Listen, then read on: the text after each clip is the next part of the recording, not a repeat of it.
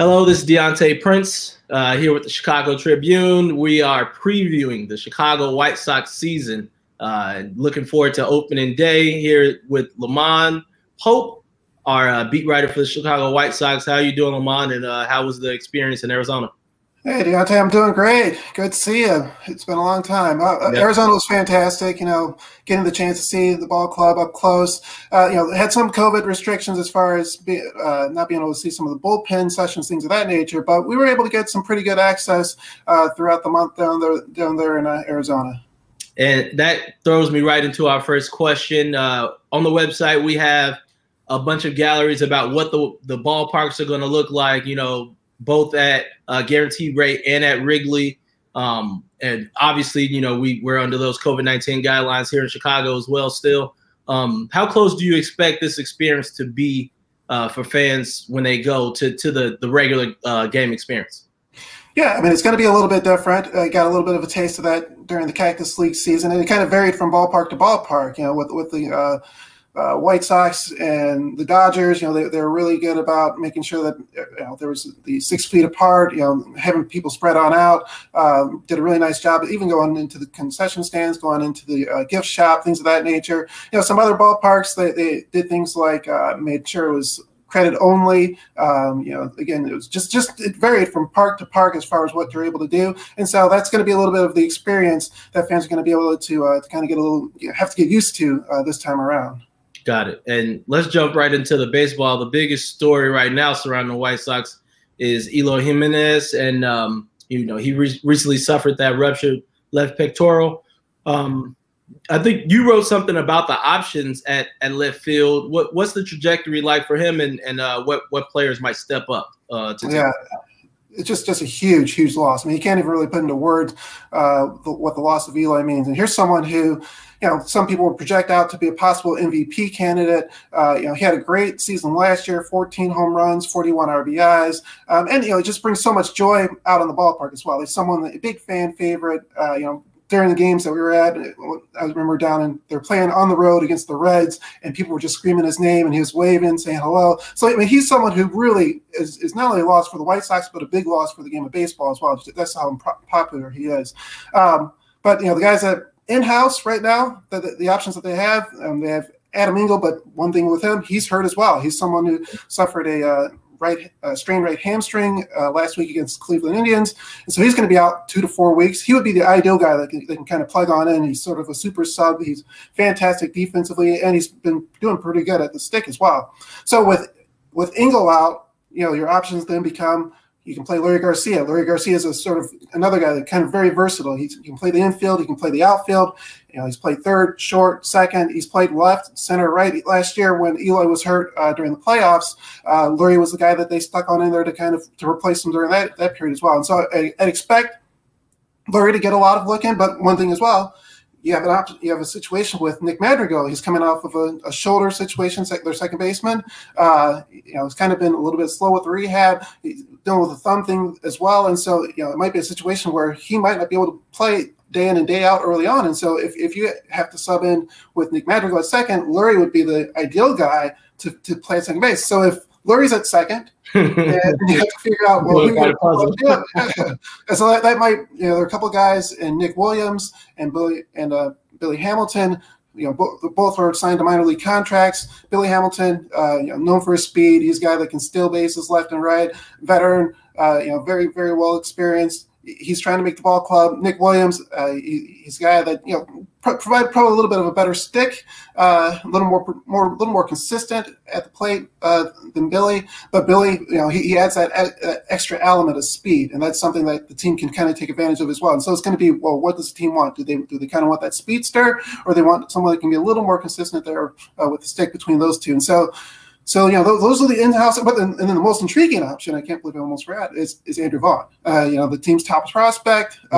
Uh, he's traditionally a first baseman. He got his first chance to play left field Friday uh, in an exhibition game against the uh, Milwaukee Brewers. He caught one fly ball. He, had only, he didn't have much action. Uh, he caught the one ball that came his way. Uh, afterwards, he said that you know he, he, was he was looking for one, but he was like, but the pitchers were pitching so so well. He was he was he was content and just sort of waiting and just waiting his turn for that to happen.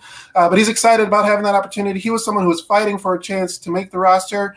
You know, the, he, was in contention to be the uh, opening day designated hitter because you know, the team is missing. You know, they have an open spot there as well, and so if they're going to play uh, Andrew in left field, that might then you know another ripple. Who's going to be the DH as well? And so you know there, there's so many things that happen off of this Eloy injury. You know, Andrew uh, he joked that one thing that he learned right away is like you know you have a center fielder in uh, Luis Robert who has so much skill. You know, won the Gold Glove last year as a rookie, uh, and he's a big guy. And he said, you know what? I know that uh, the only thing I told uh, Luis is, you know, if you say you got it, you got it, because just don't run me over. Yeah. So, so he's already he's already learned uh, step one, which is uh, you know get out of get Luis's way. way. uh, that that kind of throws me right into a question. Um, I know you, you have a few posts previewing the season and and where this roster stands, and it sounds like it's quite the puzzle uh, because of this injury. Um, obviously, there are, there are a lot of expectations on this team after you know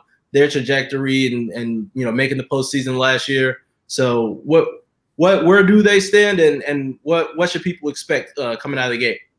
Yeah, I mean the expectations prior to Eloy's injury was I mean essentially it was like World Series you know, they, they, were, they were thinking that high. I mean, you know, this is, this is the team, as you said, they made the playoffs for the first time last year uh, since 2008. You know, most of the lineup was coming back. You know, they, they made a, an addition to the pitching staff with Lance Lynn. Uh, they they added the top closer on the free agent market and one of the top closers in all of baseball, and Liam Hendriks. Yep. Uh, so so the, the, the, idea was that, you know, that all the pieces were there. And then you, then you add in a Hall of Fame manager, Antonio La Russa. So, yeah, the expectations for this ball club were extremely high. You know, it started with winning the division and kind of making advancing further than they did this this past season.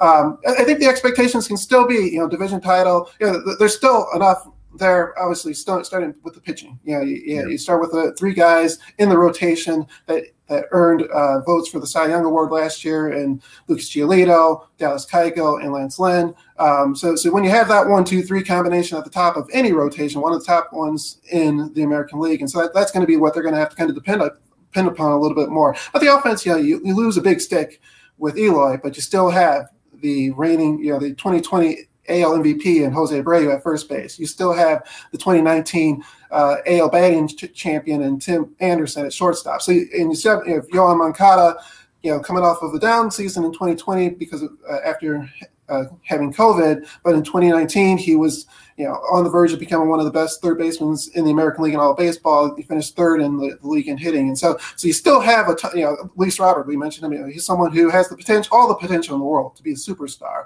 uh, if, if everything starts clicking. So you still have these uh, really good offensive weapons, but you, are going to be missing a little bit with uh, with Eloy. But so I mean, the expectations, to answer your question, are still going to be very high.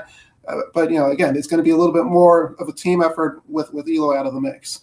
Yeah, and like you said, a lot to work with there. Um, new manager. It, it, feels weird to, to, to call Tony La, uh, La new at, at, at, any point, you know, uh, with his career and, and how illustrious and long it's been at this point. But he has a lot to work with. Um, and, and there were some worries about how he might mesh with players. And, you know, I think maybe Tim Anderson in particular, just, you know, the, the newer regime. Um, how's that work so far? And what, what do you, what do you think about how he'll be able to to mesh with this team. Yeah, it's been a pretty smooth transition. You know, everyone's still, you know, Tim is still Tim. you know, he's yeah, even, even, even, more, even more so. I think I think he's been someone who's you know very been been a great team leader uh, along the way uh, this season, and and so that, you know that that bond has been built. Uh, you know, there, has been a lot of stressing the fundamentals. You know, a lot of the, the work in the back uh, in the backfields that we were seeing is, is those little things like you know, making the extra turn around, around a base, uh, just, you know, a lot of communication skills. So, so, a lot of the things that you're taught at a young age, they were, they were still going over on a daily basis there on the backfields. And, and so that's something that they really stress. And, and, a lot of the guys kind of appreciated that. So, you know, a lot of, everyone seems to have been bought in, you know, uh, Abreu has had a lot of praise. Lucas Giolito has a lot of has a lot of praise for Tony La Russa, and so I think that that uh, you know some of those early fears as far as you know how is he going to be able to connect with it with this kind of type of team I think they've been sort of so far. You know, obviously, you haven't played any any games that count. Right. Um, so far, so good from that standpoint. And then just overall, what he brings to the mix, right? You know, obviously, like I said Hall of Fame manager, uh, number three all time on the wins list.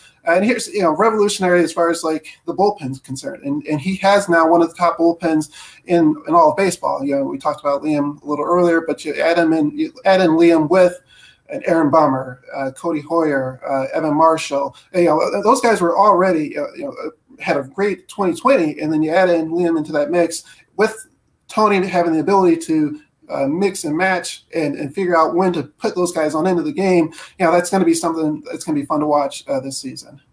Yep. So a lot to be excited about for Chicago White Sox fans. Um, I'm signing off. This is DeAntae Prince, content editor for the Tribune, here with LaMond Pope